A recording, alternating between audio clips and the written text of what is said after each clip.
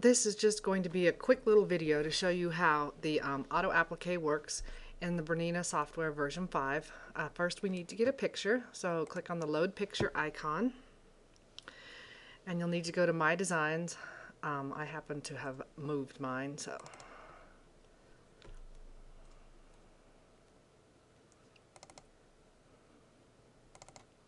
Yours should be on your C drive unless you've moved them.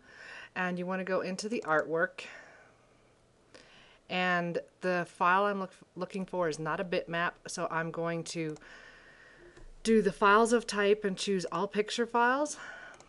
And just because I want something very simple for this I'm going to choose elephant and open. At this point you would want to resize it to fit into whatever hoop you're going to be using. If you will hold down the shift key while you drag the control handles it will resize from the center. He will work now. So Next, I switch to the design view. Um, I'm going to go ahead and set up my object properties for the applique before I start. So if you click on the object properties icon and then the applique tab, which you can't see, the applique tab, you have several options in here. Um, right now, it has defaulted to a satin stitch. When the satin stitch is selected, you can use a tack down. What the tack down is, is a zigzag that goes around the edge of the fabric before the cover stitch goes on the applique. You can also have a placement line and that will stitch out an outline before you place your fabric down showing where it's going to go in the hoop. You can put a cutting line and that is if you are going to put your fabric down on top of your base fabric and have the machine stitch around it again and then cut up close to that line. Um, if you are going to use the feature in the print where you can print your patterns and pre-cut your pieces for the applique, you wouldn't need that cutting line. I'm going to take it out for right now. Um, down here, if you'll notice, the offset for the cover stitch when it is satin is in the center.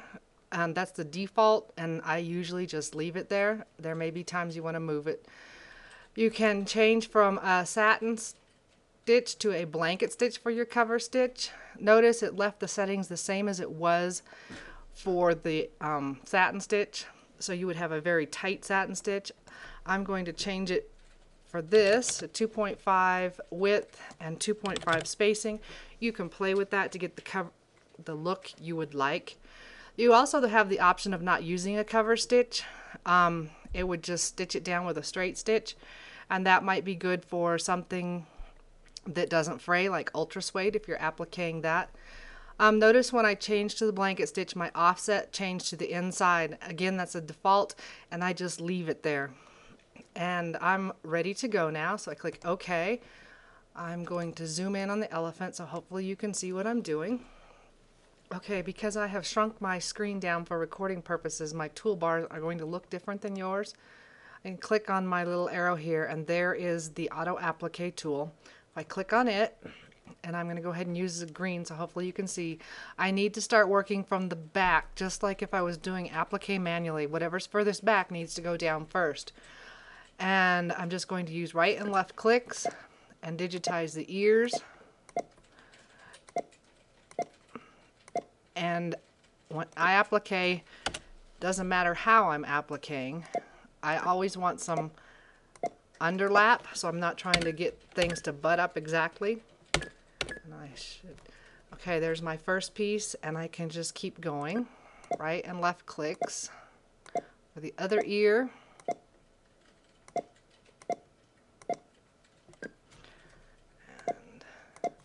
now Notice when I press enter, it doesn't finish it. If you look down here, it's saying enter point one on boundary.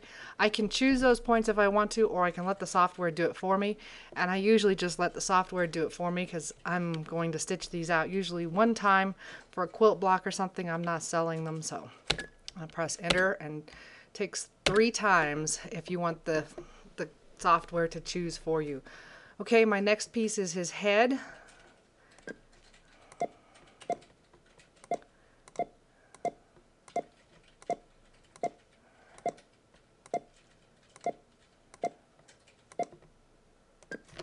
enter, enter, enter, enter. And there's the next piece. And then his trunk would be next.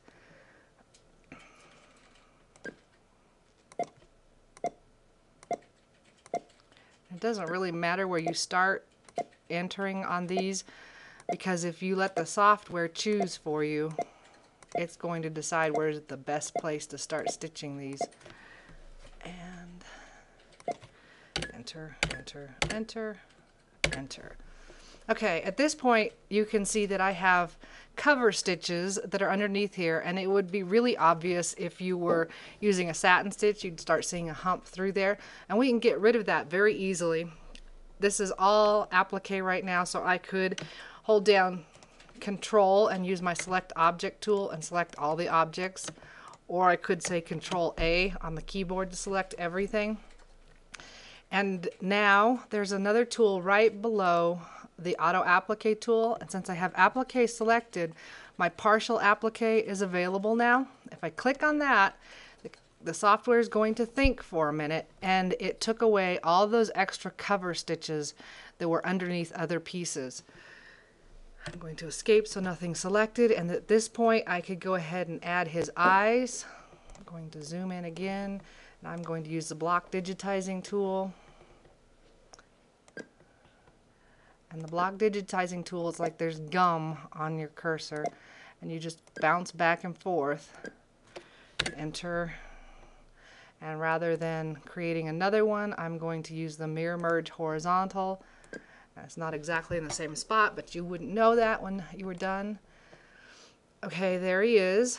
And there are jump stitches and stuff, but remember when you're doing applique, the machine is going to have to stop anyway for the placement line and then it will start again to do your cover stitch. And if you have the if you're using a satin stitch in fact let's just change this. Control A and I'm going to deselect the eyes. Go up into object properties and change to a satin stitch. And my width I can leave it at 2.5 or I could go to 3 if you get too narrow then you start having um, frayed edges that show through. Notice my offset went back and if I say tack down and I add a cutting line, say okay, it added a whole bunch more color changes because it's doing more steps now. that's what he would look like satin stitch, like the blanket stitch. Um, I could get rid of my picture now. Delete, go back to the design view. And there's one thing that a lot of people overlook and that is what we can do with the um, print menu for the applique file. Print. And when that opens click on the options box. And this is where you would print your templates if you're trying to position stuff. But there's an option down here called applique patterns. If I click OK and then I'll just do preview so you can see it. Here's my applique design. And if I click on next page there are each of the pattern pieces exactly the size I need as long as you left this actual size. Um, and you can trace them on fusible web here and go iron it to the back of your applique fabric. And then if you stitch out the placement lines it should fit exactly if you're careful right in those placement lines. And I keep a little iron beside my machine and an ironing surface and I press each of those pieces down as I go and I get better results that way. Close. I hope that made it a little bit clearer. There's there's more you can do with it, but that's if you know this much, then you can get a design in. And it's quick and it's easy, really.